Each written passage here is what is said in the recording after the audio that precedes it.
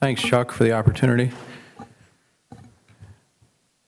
Um, I uh, am scientific advisor to a few companies. I founded a company, B9. It's a shell right now, It doesn't make any money. So really no direct conflicts for this uh, particular talk.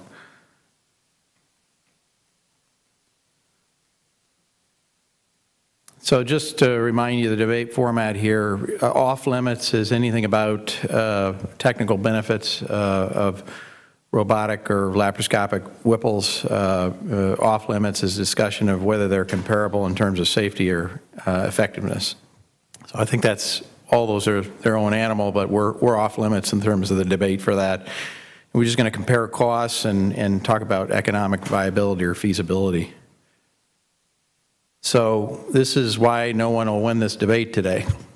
Um, there's no cost data for MIS robotic Whipple to date. Uh, I, I pulled the leaders in this field, and I wouldn't put myself in the upper echelon, but it's, uh, uh, but really this data is forthcoming, and and I hope, uh, I know I saw Herb Zeh in the audience, I'm hoping that the Pittsburgh and Cleveland groups and Mayo Clinic groups will, will have this data forthcoming soon.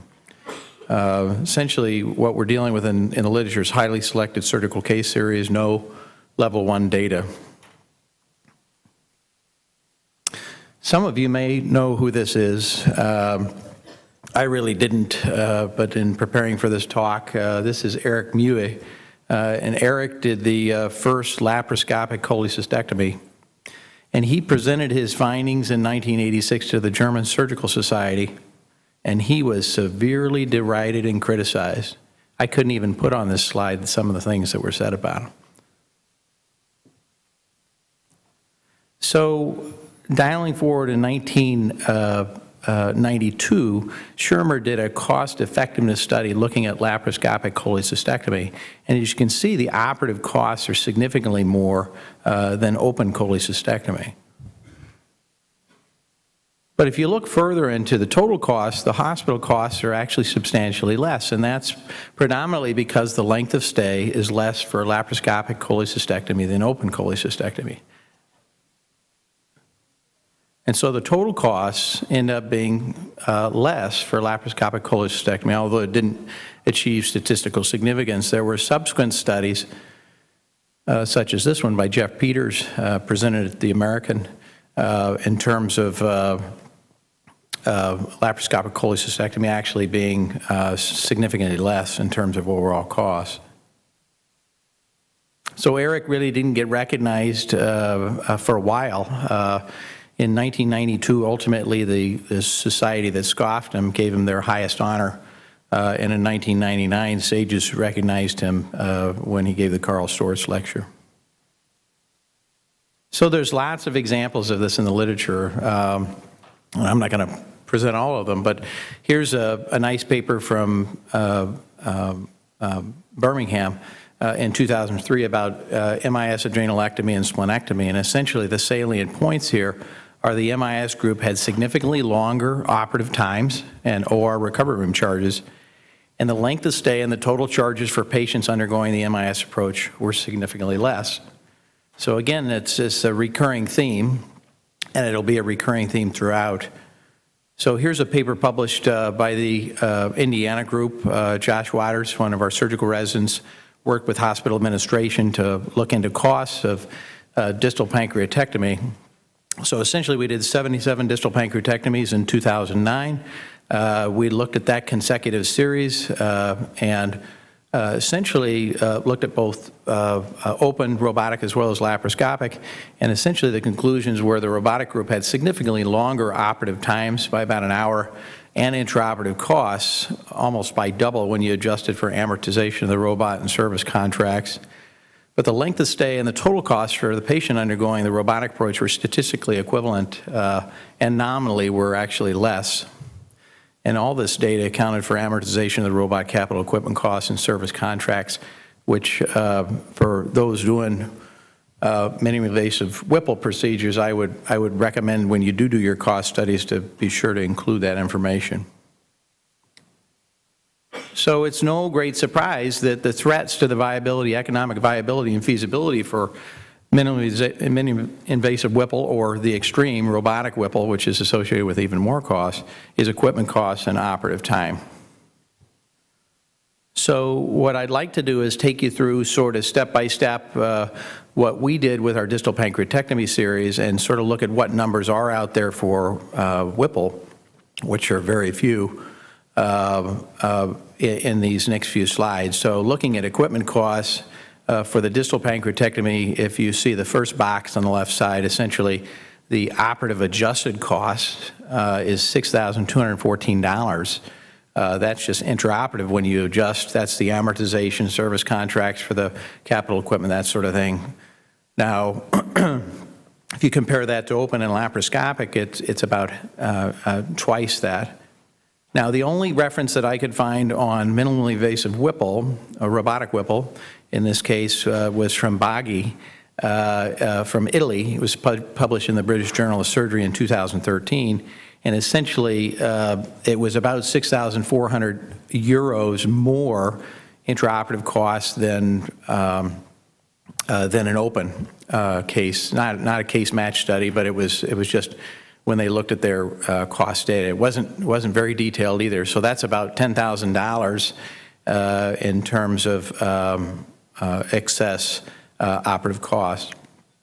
Now on the on the flip side, the intraoperative time uh, for a distal pancreatectomy, you can see the open uh, approach uh, was an hour less than the robotic approach. That was statistically significant. Uh, and when you look at uh, Whipple series, minimally invasive Whipple series, essentially the the operative time is uh, anywhere from two to three hours longer on average for, for some of the biggest series. There's somebody in Indiana that did a 23-hour robotic Whipple in the community, so I'm sure that those sorts of results aren't being published.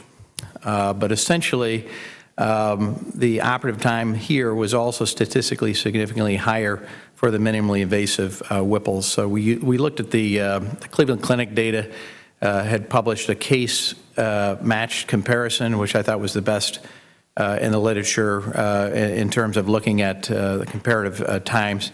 And then the Pittsburgh Group uh, number there, the 529 numbers included as well from their recent publication. So, I mean, whenever you're presented with challenges uh, uh, uh or threats, uh, uh, you know, I mean, one approach is to abandon, uh, the other approach is to adapt. Uh, and so with equipment costs, uh, you know, with all due respect, we really can't, with robotic, the, the extreme case, we, we can't uh, change those right now. If I mean, the marginal cost curve intersects the marginal revenue curve. I mean, essentially, they're going to have a profit in a monopoly market no matter what we do. So we can't, with until there's perfect competition in the robotic world, uh, when other companies enter the market uh, for for a free competitive market, it's not going to, from a microeconomic perspective, we just can't do anything about the equipment costs. Um, but we can try to offset hospital costs uh, and then total costs. And the best way to do this is through de decreased length of stay, which I think is a product anyway of the minimally invasive approach, uh, but it, it should be enhanced uh, as best we can. And then operative time, I think this is just something that we have to discipline ourselves on in terms of regulating operative time. Uh, perhaps we shouldn't spend 10 to 12 hours doing a robotic Whipple, even in our learning curve.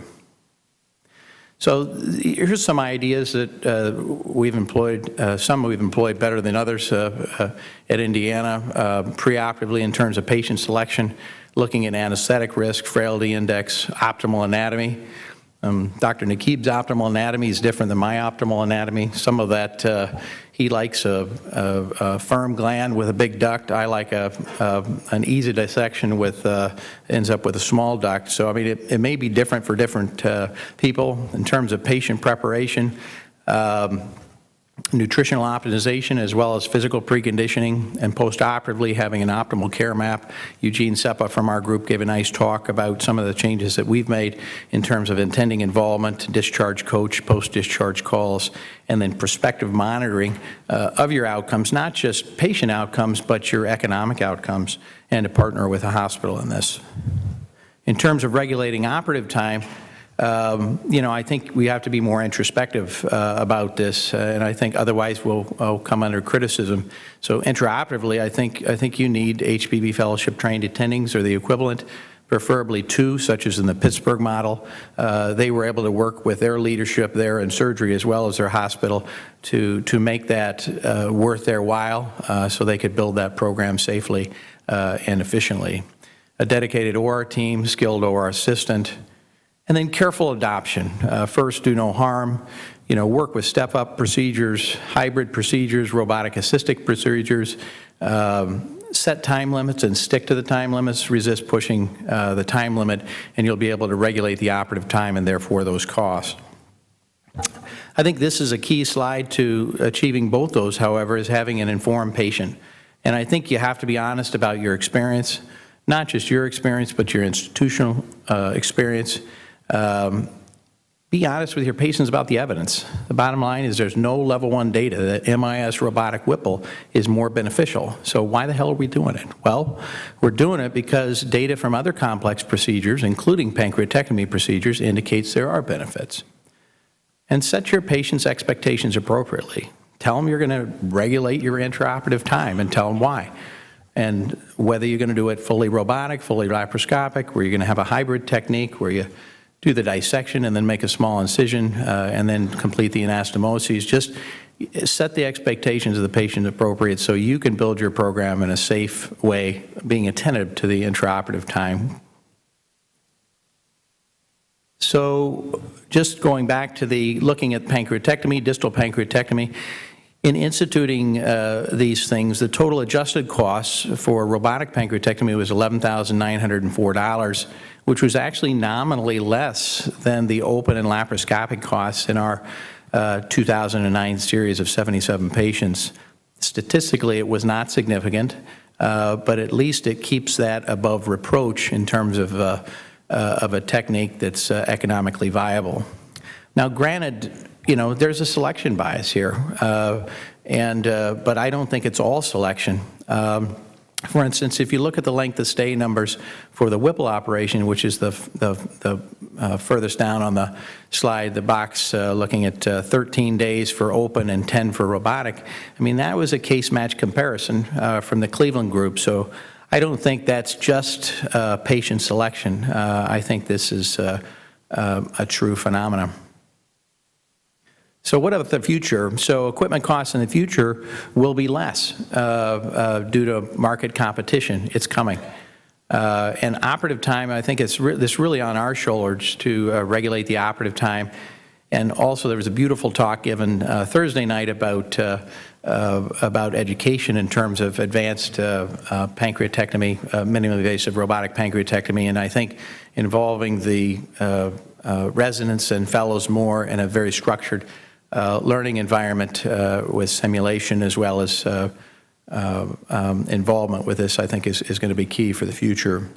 So in summary, equipment and operative time costs of minimally invasive robotic Whipple exceed open approaches, but adaptations allow the Whipple to be done this way, uh, to be a viable option in today's economic environment uh, through decreased length of stay and operative time regulation. Market competition is expected to mitigate equipment costs in the future. In conclusion, uh, MIS robotic pancreatectomy and or Whipple is feasible in select patients by select pancreatic surgery teams in select centers. Today, to be viable, feasible, this is a short term, it must be carefully adopted by HPB fellowship trained surgeons in institutions with a strong commitment to the surgeon and the program where patients are carefully selected, appropriately counseled, and outcomes both intra-op and post-op, as well as cost are monitored and in the future, I believe that MIS robotic Whipple will be increasingly adopted, less costly and more efficient uh, than the open approach. Thank you.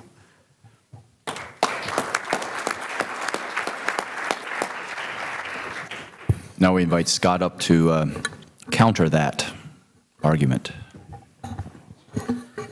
Well, I'm not sure we need debate because in his conclusion slide, he said in the future, it might be more cost effective. I'm going to go to the present.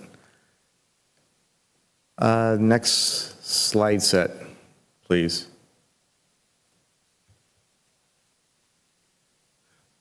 Okay, so I have no disclosures uh, relative to this talk.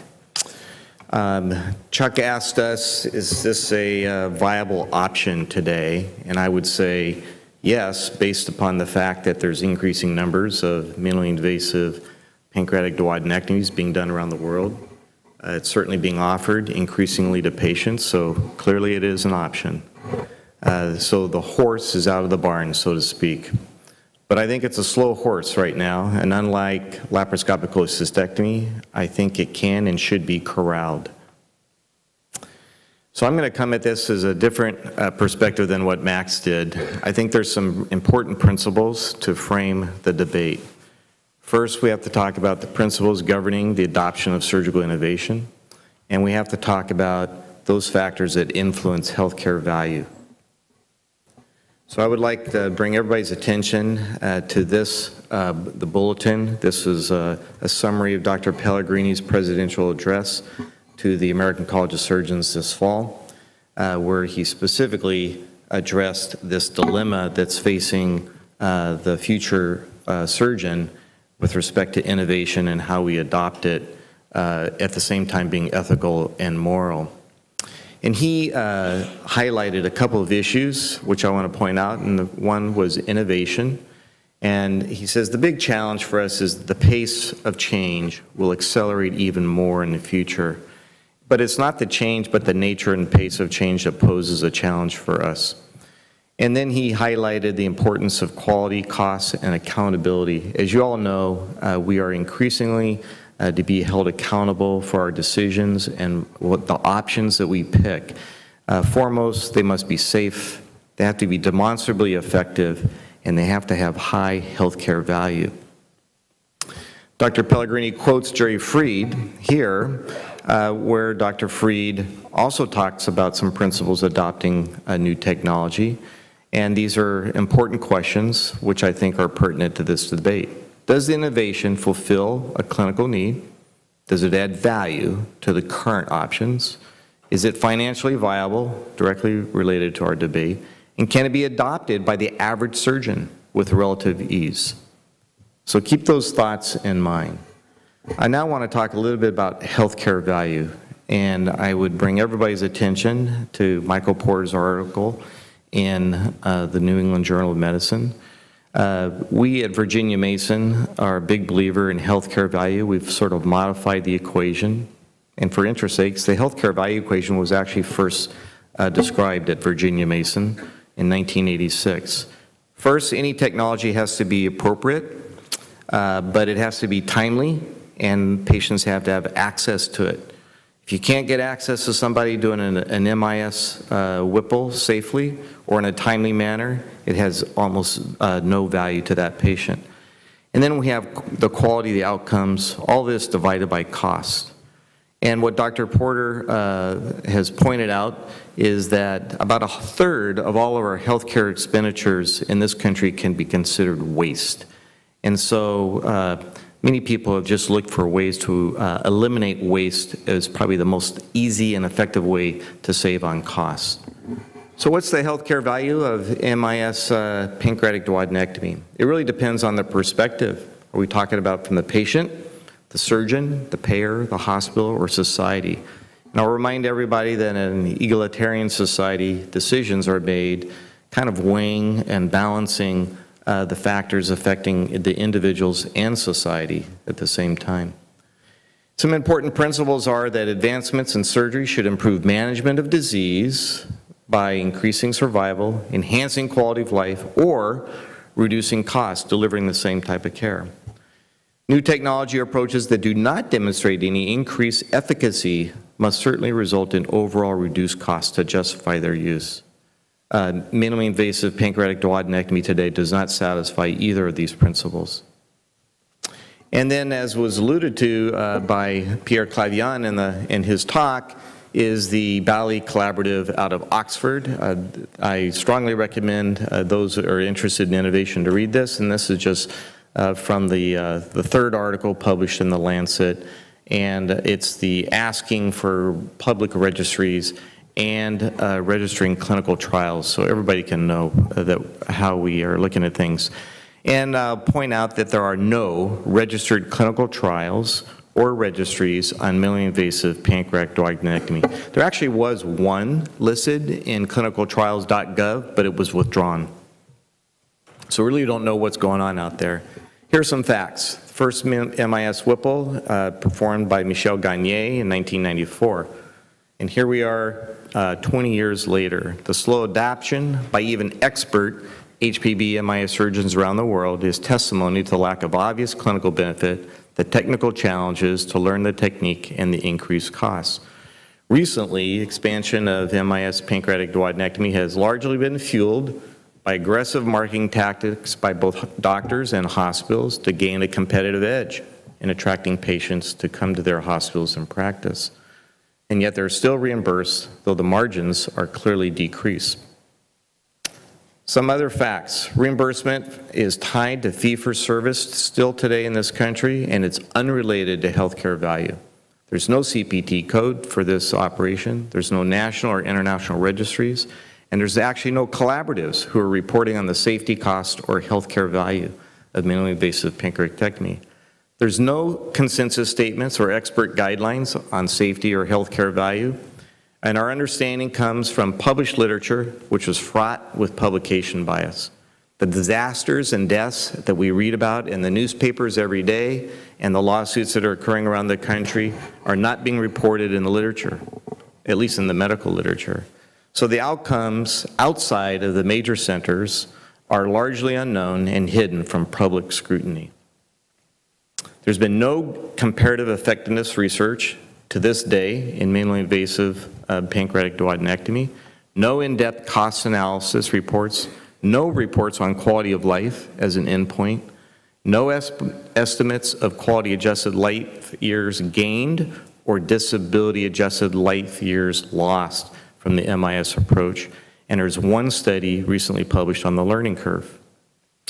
Uh, Max talked about the cost drivers, and they're listed here again, capital equipment, OR time, but something he didn't mention is learning curve cost, and that has to be taken into consideration in, in, in the adoption of any uh, technology. Hospital stay, of course, and also complications. And I remind you that the majority of deaths that have occurred, at least under robotic surgery in this country, have never been reported. Here's a comparison of some of the cost drivers that you heard him refer to. Uh, with respect to capital equipment for minimally invasive pancreatic duodenectomy, it's, it's a huge range depending upon whether or not you use a robot. Uh, the OR time uh, increase is also widely uh, variable. There's only one or two reports in the literature where the OR time is actually equivalent or less than an open uh, approach. And the length of stay, uh, again, there's only one or two reports where the length of stay is actually less compared to an open approach. Uh, complications are the same. The learning curve is, has been estimated to be anywhere uh, from uh, 100 or greater, and the cost of that learning curve uh, can be anywhere from 300 to 800,000 dollars per surgeon. Uh, here's the cost analysis that Max uh, also reported. This is the only uh, in-depth analysis, and uh, they did a lot of interesting things. They looked at variable and fixed costs, but they looked at the time for individual task completion, and they also brought out, for example, the extra time that goes into just instrument exchange, which on an average was 110 minutes per case. And there's the uh, additional cost estimate when one uses a robot. Uh, this author concluded that select patients can undergo robotic pancreatic duodenectomy, but the main downsides are high costs and prolonged operating times. And uh, there's, if you're going to use a robot, here's some additional uh, costs, but I just want to point out the areas of waste that could be completely eliminated uh, if one did not use a minimally invasive approach. And most uh, expert surgeons who adopt this technology have a second surgeon at the bedside, not a PA. And so that's an additional cost that needs to be factored in. This is an excellent article that talks about the uh, dilemma of the, of the cost of robotic surgery in general in the United States. Um, that's worth reading again in the New England Journal of Medicine. Uh, I point out that they conclude comparative effectiveness research and large-scale multi-center trials or rigorous non-randomized evaluations are needed first to determine which patients benefit from open and robot-assisted approaches. So what do the experts say, most of whom are in this room right now, uh, about uh, their experience with minimally invasive pancreatic duodenectomy? Uh, Mike Kendrick is off to my right, I think, and uh, I'm just highlighting those things that they've said despite their excellent uh, large volumes. However, controlled trials are needed. Uh, Here's Herb Zeh and uh, Jim Moser's uh, group. Larger, more mature, multi-institutional cohorts will be needed to explore potential benefits over open and laparoscopic techniques. And uh, here's their uh, most recent publication with 250 robotic pancreatic resections. This is the only paper I'm aware of that talks about the learning curve. And the thing to point here is, is that the learning curve as shown uh, by the reduction in complications occurred between 80 and 100 cases. And here's the uh, graph showing that uh, the learning curve is still got a way to go because you can see the slope of the operative time continues to improve over time, uh, but the length of time, uh, despite doing 250 robotic cases, is still greater than uh, the average for an open uh, procedure. The plateau is not reached, and so we really don't know what the learning curve is, other than it's greater than 132 cases. Uh, Herb concludes that further research to evaluating comparative effectiveness of uh, MIS platforms and open surgery is now required. Uh, Here is uh, a paper just uh, from the Cleveland Clinic Group showing that essentially the curves are flat over uh, their learning curve, uh, both in operative time, blood loss, and length of stay. So there's really no demonstrable improvement over time. And they uh, concluded at this point there's not enough evidence to consider it standard of care. And then this paper published by Peter Allen, the Memorial Group, just last month. Uh, it's a meta-analysis uh, for whatever data that's out there that said that it's feasible uh, in select patients at select centers. And while there may be a benefit, the lack of randomized trials or high-quality non-randomized studies comparing both techniques do not allow for firm conclusions to be drawn. It cannot be considered superior or standard at this time. And Horacio Asbun uh, has uh, one of the largest experiences in the world as well, and he concludes there's need for multi-institutional series. An increasing experience for this procedure and larger series and a registry would allow additional investigation of possible advantages for an MIS approach and have more conclusive evidence. And he adds this word of caution uh, in, an, in a response to an editorial written into his paper. There's been no evidence that having a robot available plays such a role in patient safety may become an issue when an attempt is made to curtail the learning process. And uh, the Kaiser system, as you know, is quite uh, bent on uh, cost effectiveness uh, and uh, lean medicine as well.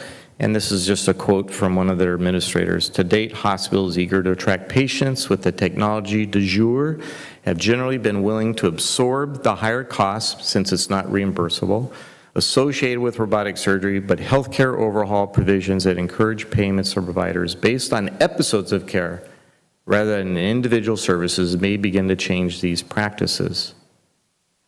And then this editorial written in Surgical Endoscopy uh, just this fall uh, is from the Netherlands and talks about this dilemma because of the extraordinary costs of robotic surgery um, is also worth uh, reading. So in summary, almost every article uh, by credible leaders in this field over the last 10 years have concluded we need a registry we need controlled trials, or at least prospective case match series. We need survival data for cancer patients. We need to measure, report, and analyze healthcare value of the MIS approach. We need short and long-term cost data. And until this occurs, the financial viability of MIS pancreatic duodenectomy is in jeopardy and unlikely to be sustained due to decreasing hospital margins.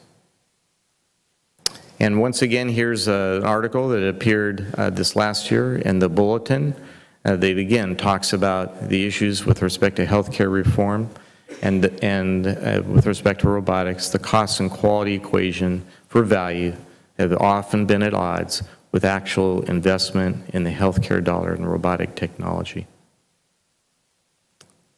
I'll conclude there. Thank you very much.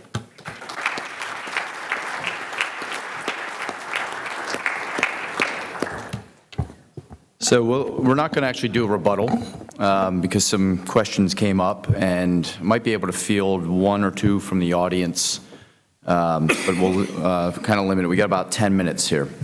So uh, to both of you, um, when will this embargo uh, lift on the competition uh, for robotics uh, in terms of uh, the monopoly from certain companies uh, dominating the market? Yeah, I mean, great question. I'm not sure. I, I think it's going to be probably close to a decade before we have a company that can actively compete with Intuitive. So it's, it's not, uh, I mean, that's just my opinion. Uh, There are some uh, companies uh, in Japan that do have robots, and they're working with uh, uh, various prototypes, but, uh, and and it may be quicker, but I- I'm guessing before somebody goes head-to-head with an Intuitive and actually you know, turns that uh, automatic profit from the capital equipment costs into a more free-flowing competitive environment, I'm, I'm guessing a decade. That seems like a big break on, on the process. That's a long time. Scott? It depends on um, if Intuitive is able to continue to buy the patents. Uh, Their patents will be expiring uh, sooner than 10 years.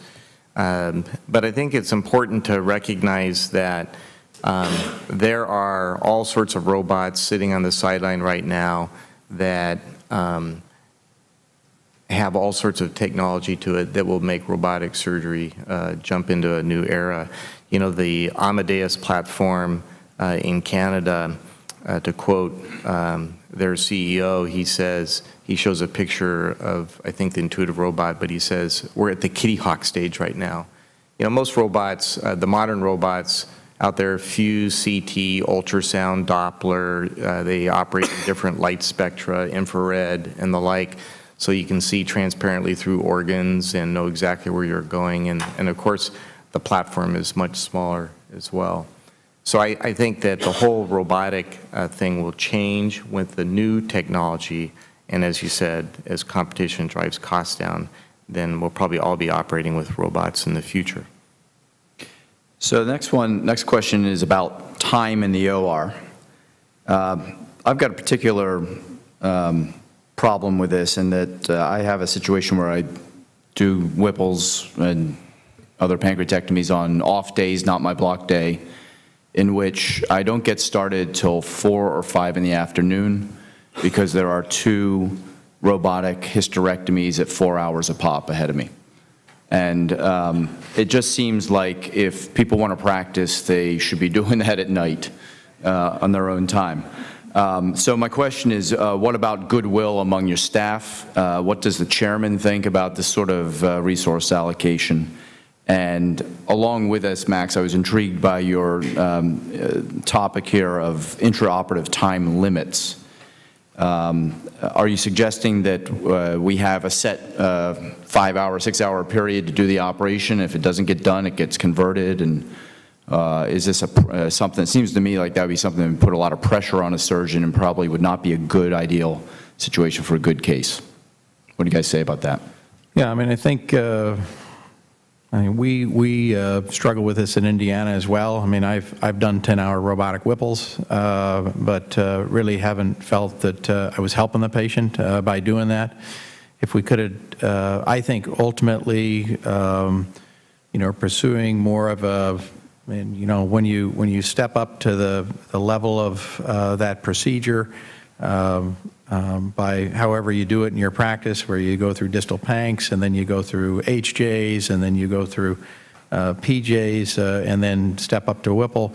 But I think even with the Whipple procedure, um, you know, one of the things uh, we did early on was we'd do the whole dissection laparoscopically or robotically, and then we'd just make a little mini incision and move the retractors around and do the, uh, do the anastomoses. Of course, I always thought the robot would be best for the anastomoses, so that was kind of frustrating for me, um, because I wanted to get to that part, because that's where I thought it it would have the most uh, benefit. Um, But I think uh, really, uh, we have to be good stewards uh, of the patient's time, and I think that uh, as people adopt uh, minimally invasive Whipple, robotic Whipple, I really think we have to come up with creative ways of tracking the time, making sure we limit the time.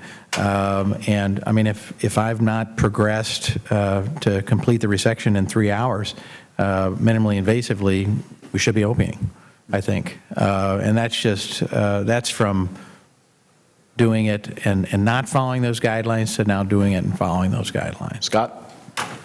Well, first, let me say I am not against MIS pancreatectomy, uh, but specifically to, in this thing, it- it- the question was, is a viable option in today's economic climate? I strongly endorse uh, the champions in this room, these two guys standing over there, um, that are going to show us how to do it.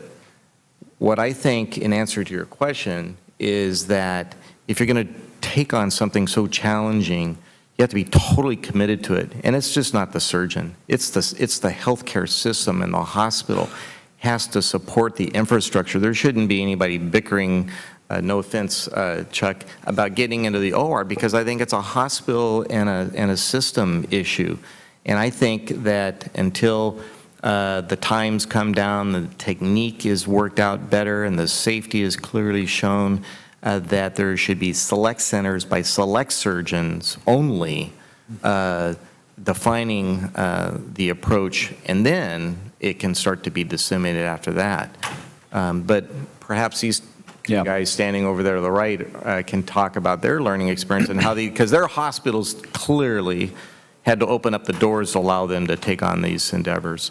Of course, there's the whole concept of of efficiencies of scale, and the places that are doing this are going to um, leap ahead by efficiency uh, purposes, but, you know, this is bleeding out into community hospital situations, and I don't see that that's going to be able to happen the way you describe it there.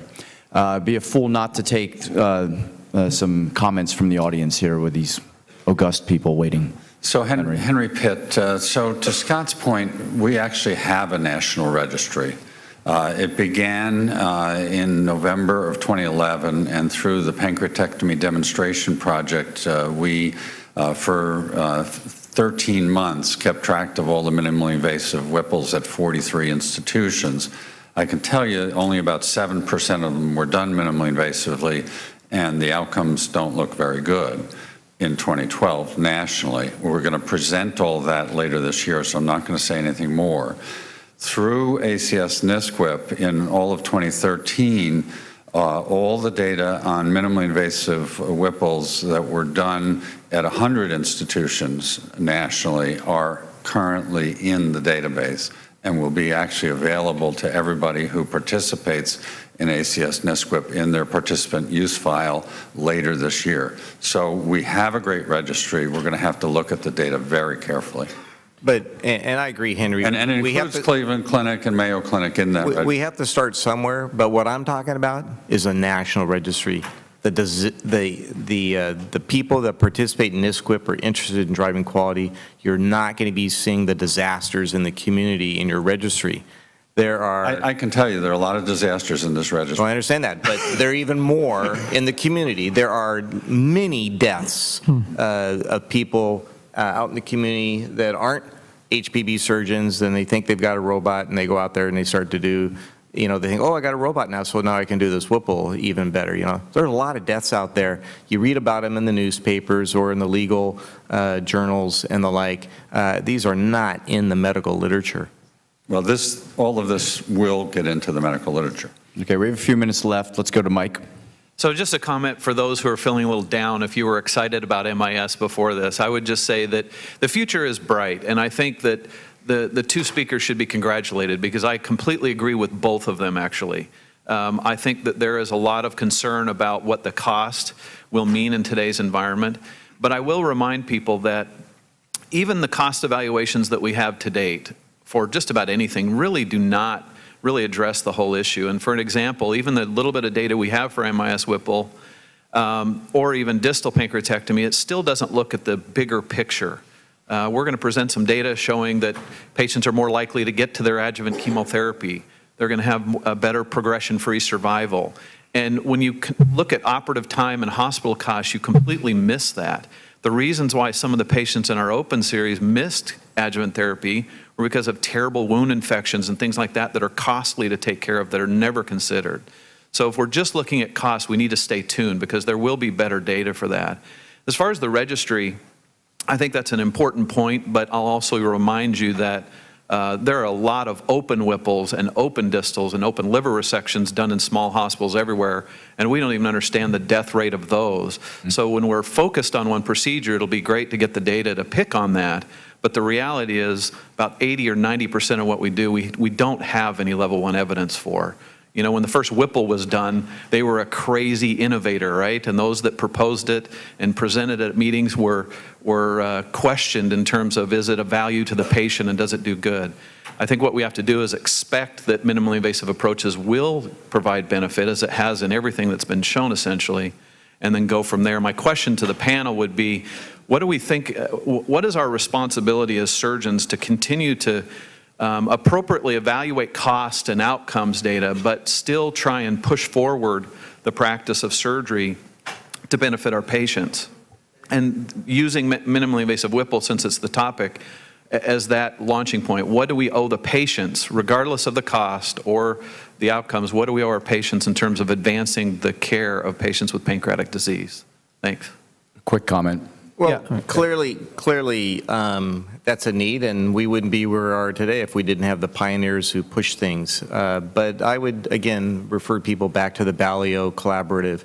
I think uh, those three articles published in The Lancet about how we adopt and uh, uh, implement new technology is really, really both, uh, it's founded on ethical and moral principles. You know, we have to protect safety of patients, um, and as we implement new things, rather than, like I said, you're letting the horse out of the barn uh, all over the place uh, before really know the limitations and the benefits. So I would just refer back to the Lancet articles. Okay, we have a minute or two. Can we have quick comments from both of you? Yeah, Dave Kooby from Atlanta. Um, It was a good debate, and I I also agree with both of you. I- The the caveat and the concern, y- y- the point of that your hospital administration has to back you is is very important, and that's something that I have struggled with at Emory. And when I can do two Whipples and be done by three or four in the afternoon uh, easily versus one robotic Whipple where I'm probably dragging a partner in, I think that's a that's just a different playing field, and the administration is going to look at that. Huge resource allocation.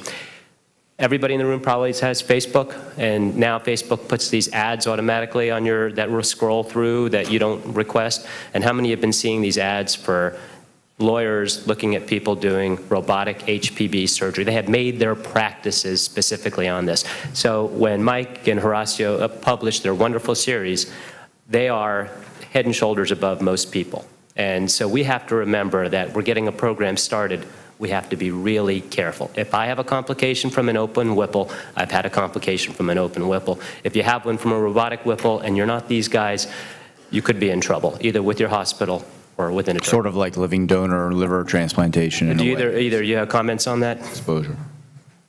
No, I agree. Yeah, I agreed.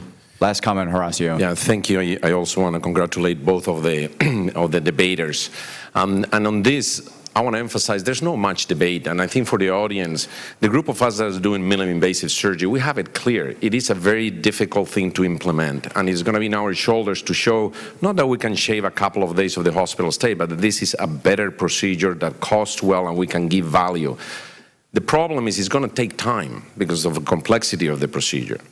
One point I wanted to make is we did publish, not a large series, but we did publish 75 patients against 48, 75 laparoscopically, and it's published in Surgical Endoscopy with the title Cost Analysis of Open and Laparoscopic Pancreatic Duodenectomy. Then it is not level one, but it is a comparative study, and we did prove what you all were guessing, that basically the cost is the same for the minimally invasive surgery laparoscopic pancreatic duodenectomy with the open because the compensated expenses on the operating room are compensated by the hospital charges. And we went by nursing expenses, laboratory expenses, and all of those that were hospital, and were much less on the laparoscopic, and the cost was, was the same. Then my question to you is, it's a little bit on what Mike was saying.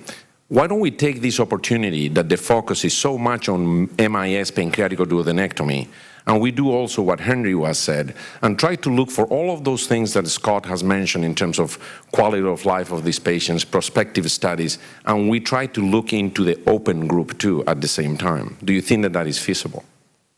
Yeah, and I think it's a great opportunity for this association to really get behind, and, you know, all of you who are the leaders in the MIS pancreatectomy are in the room.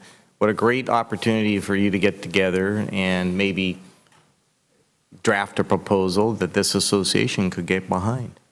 You know, I would love to see uh, some type of a consensus conference uh, about where, we- how we should go about doing it. So, It's easy to match them. The registry has all the open procedures, and we can match them. So we'll end on that. I think that's exactly the point, uh, Scott, is hopefully the purpose of this debate and bringing it to you is to stimulate some progress in the future. You have all these people in the room with great minds. There's a huge opportunity to figure this out coming up, and I hope you guys work together on that. Thanks. Appreciate it.